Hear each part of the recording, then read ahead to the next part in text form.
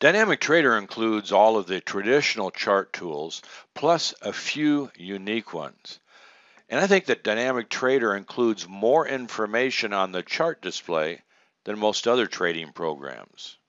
So let's take a look at some of the traditional charting tools as well as a few of those that are unique to the Dynamic Trader program. Our line tools are all grouped together under this icon in DT and they have the traditional trend lines, parallel lines. I'm sure you're aware of what those are, so I don't need to show you those. Uh, we have Andrews.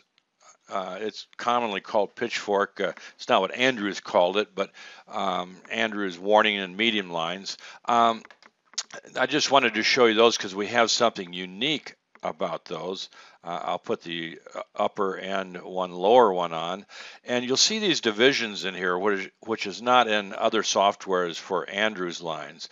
And I'll show you why we have the divisions. I'm using the traditional uh, uh, fib numbers of 38.2% and 61.8%. If I do an Andrews line, or uh, pitchfork, we'll call it, let me just bring this down those of you familiar with Andrews will know how we we make those Andrews lines from a low and then a high and another low, and the medium line goes right through the medium of uh, the line that connects the high and the low. But these dotted lines are what we call uh, the fib channel around the Andrews line. It's something uh, that I came up with many, many years ago because I've used Andrews lines as well as Babson lines for many years um, in chart geometry. And I find that this, what we call the, the fib channel, medium fib channel, uh, usually contains uh, corrections and trend targets, uh, depending on whether the market's in a correction or in a trend. So uh, as soon as it reaches the fib channel and the medium line, it's when we start uh, becoming alert to probable support or resistance uh, when a market uh, doesn't reach the actual medium line itself. And of course, these are the extensions on either side of the main channel line that are also used by people that use Andrews lines. Um, besides Andrews lines, we do have, let me just erase that group, we have what's called Babson lines. And again, you have, you can choose the color of those lines. You can choose how they're divided up and how many action and reaction lines uh, you want. Um, Babson lines, uh, you either know about them or you don't know about them, but they're basically parallel channels that are extended above and below um, the three point parallel channel. And then with typically you divide it in the 50% or halfway through the channel and you look for support and resistance. There's again that's that's a whole course on how to use Andrews lines and how to use Babson channels, etc. But we have them and we have them in unique ways in Dynamic Trader that's not found in uh, necessarily all other our other trading and charting programs. So we also have a lot of Gann related uh, charting tools, uh, just your traditional Gann angles. Uh, some of you may know that I wrote a home study trading course on WD Gann trading techniques. Um, geez, almost 25 years ago. It was in the late 80s. It was actually the first um, trading course that I wrote, a very comprehensive course on Gann, Fibonacci, and Elliott wave combination. But uh, for those of you who are interested in Gann angles on your chart, I think we do it correctly as opposed to many other charting programs. You have the choice to uh, draw the one by one line by choosing a low to high or having it the one by one angle as ticks per bar. You can extend the angles and then you can show uh, whatever angles you want on the chart. Uh, so for instance, this is drawing, which is really the proper way to do it. Um, and for those of you who know Gann angles is that once you've declined below the two by one bar, it can become resistance, just like a trend line may. Um, it also at least gives a warning that the trend has changed. In this case, if a market doesn't hold the two by one line or the one by two line, is uh, more than likely it's it's changing trend, at least in the process of that.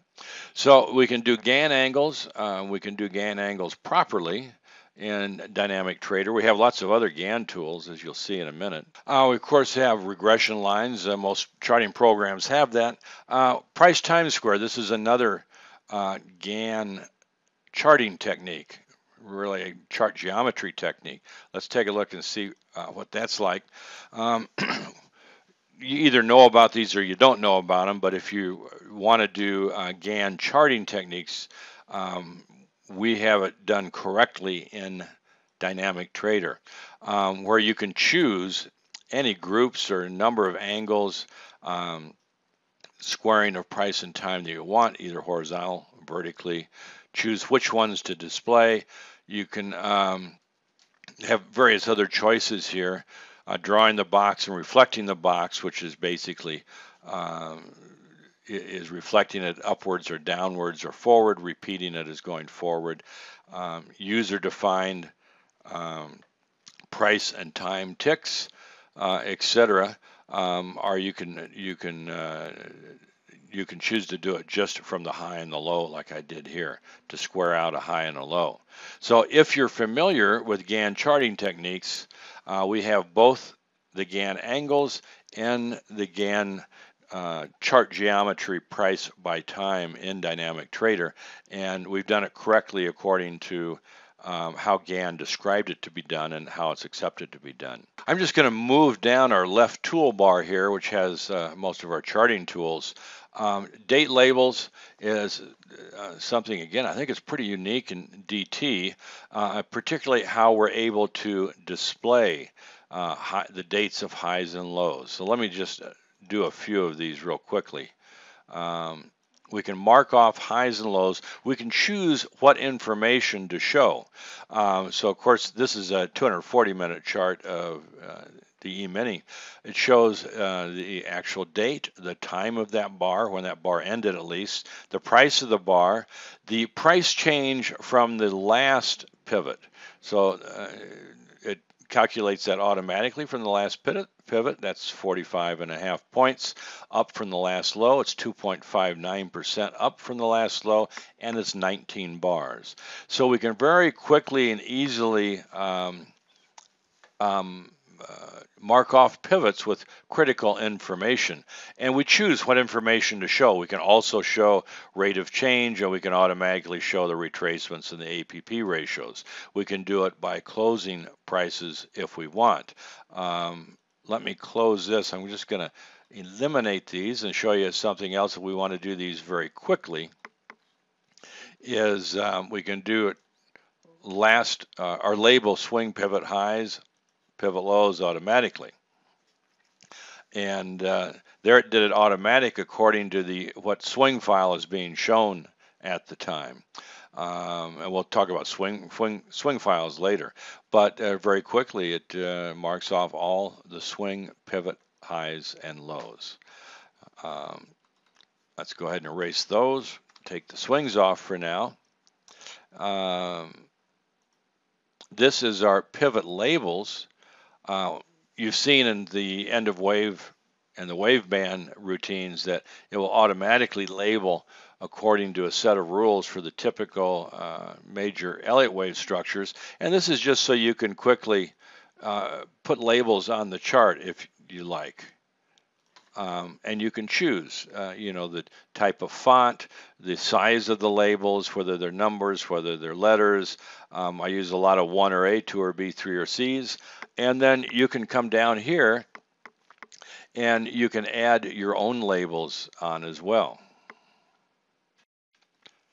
Um, I've already added some of my own labels here, but wherever you see a question mark, you can you can put your own text in there. Maybe I would think this is a one of a three, something along that lines.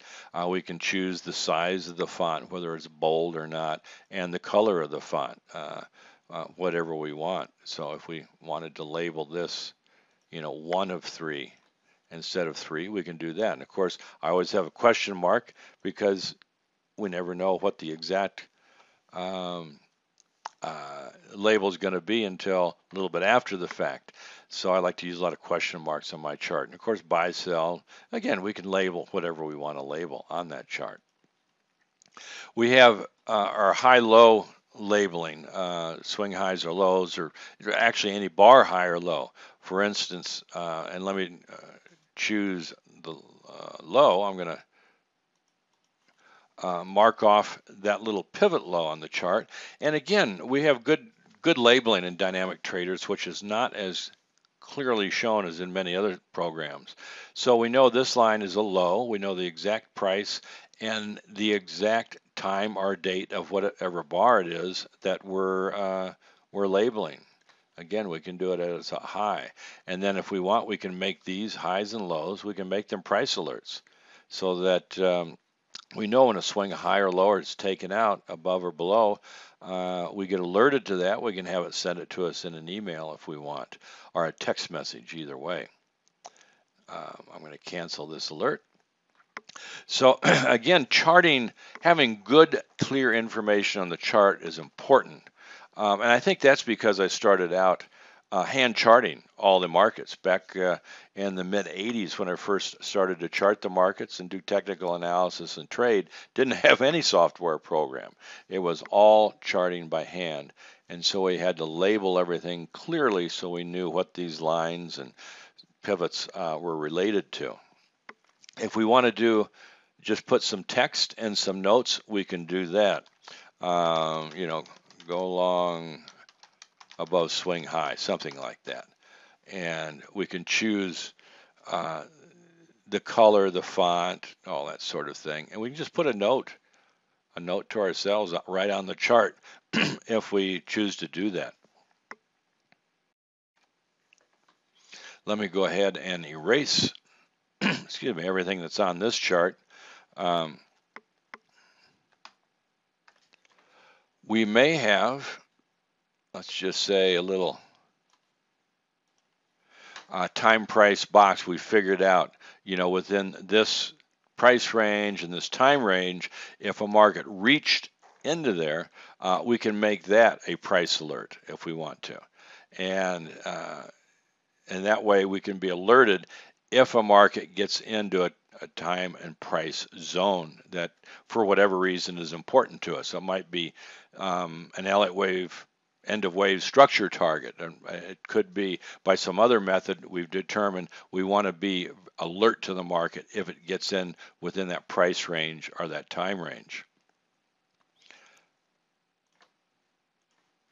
So those are some of the other charting tools that we have in Dynamic Trader. Some of them are uh, in most other trading programs, uh, and most traders are going to be familiar with. A few of them are unique to Dynamic Trader, and uh, some of them may be in other programs, but we may have them a little bit better and that little better labeling so that you know exactly what information is on your chart and how they're relevant, as well as being able to turn almost any trend line, Andrews line, Babson line, swing high and low, uh, Gann angle, etc., into a price alert are a uh, some some sort of alert if the market touches it uh, that we can be alert to, it and those alerts will pop up uh, in Dynamic Trader as well as can send us an email or a text message when that alert goes off.